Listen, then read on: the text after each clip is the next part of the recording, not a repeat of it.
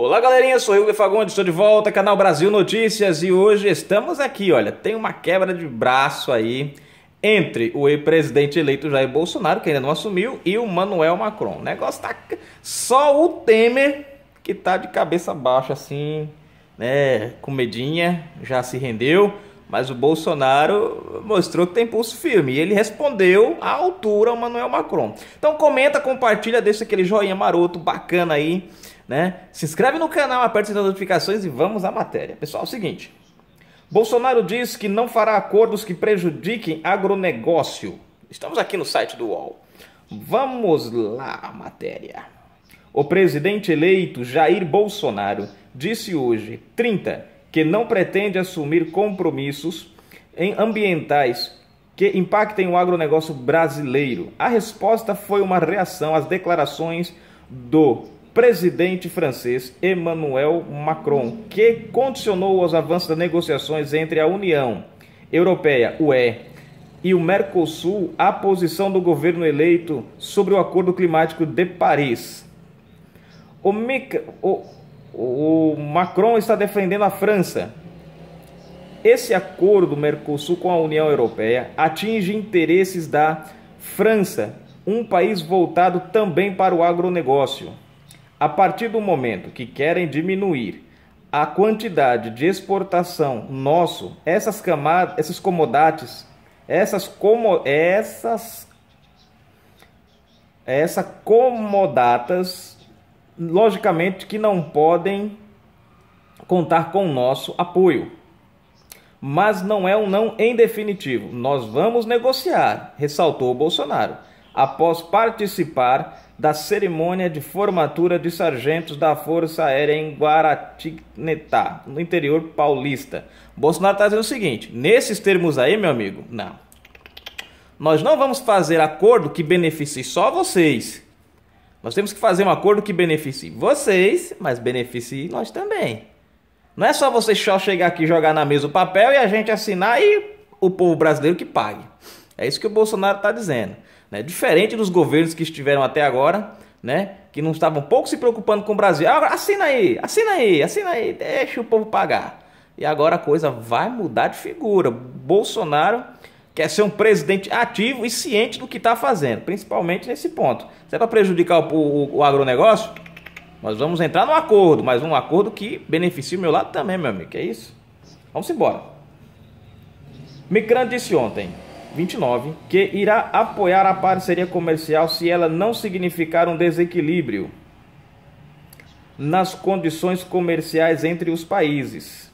Não podemos pedir aos agricultores e trabalhadores franceses que mudem seus hábitos de produções para liderar a transição ecológica e assinar acordos comerciais com países que não fazem o mesmo queremos acordos equilibrados. Ah, equilibrados que beneficiem eles. Olha o que ele está dizendo assim, nós não vamos pedir para os nossos aqui mudar o seu jeito, tal, tal, tal, tal, tal, né, por causa de outros países. Ou seja, quer dizer, nós temos que mudar, nós temos que baixar a cabeça. Eles não. Esse acordo está há 20 anos rodando. Até agora o cara não cedeu, a França não cedeu.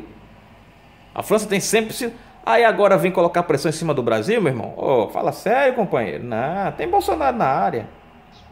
Deixa eu ver aqui. No Twitter, Bolsonaro já tinha postado uma mensagem afirmando que está fora de cogitação o país se sujeitar automaticamente a interesses de outras nações. Automaticamente ele quer dizer uh, sujeitar automaticamente aqui ele quer dizer o seguinte: de simplesmente ir lá e concordar com tudo que eles colocarem. Não importa, concorda.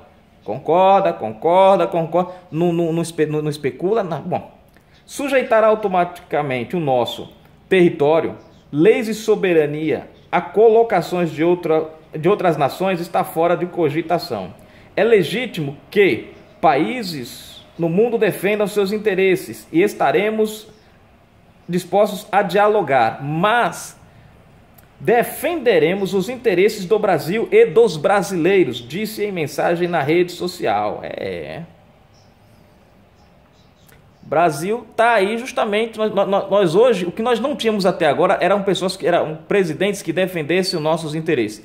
Foram defendidos os interesses de Cuba, de Venezuela, de Argentina, se não me engano, da Bolívia, outros países aí que ganharam tantas coisas do Brasil, mas o interesse dos brasileiros até agora, nesses últimos 15 anos, 13, 15, 16 anos, nós não tivemos nada, ninguém para defender os nossos interesses. Agora chegou o Bolsonaro, nem assumiu ainda e já emparedou Macron, cara. Vamos às negociações aqui do negócio. Cadê? Deixa eu ver. Tá, tá, tá, a União Europeia no Mercosul, Brasil, Argentina, Paraguai e Uruguai, a Venezuela está temporariamente suspensa. Negociam um acordo há quase 20 anos em, com base em três pilares: diálogo, política e cooperação e o livre comércio. Bolsonaro disse que foi aconselhado pelo futuro ministro das Relações Exteriores, Ernesto Araújo, a ter cautela nas negociações.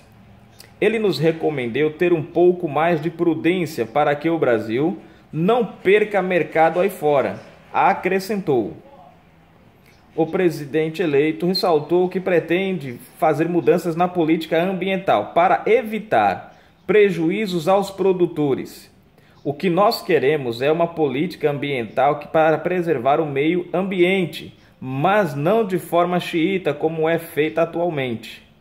Vamos acabar com a indústria da multa, que é o que tem enriquecido os cofres públicos e ferrado com os agricultores nesse setor. Bom, deixa eu ver aqui, deixa eu ver, tem mais aqui. Bom, gente, aqui já é outra coisa já. Bom, tá aí, né?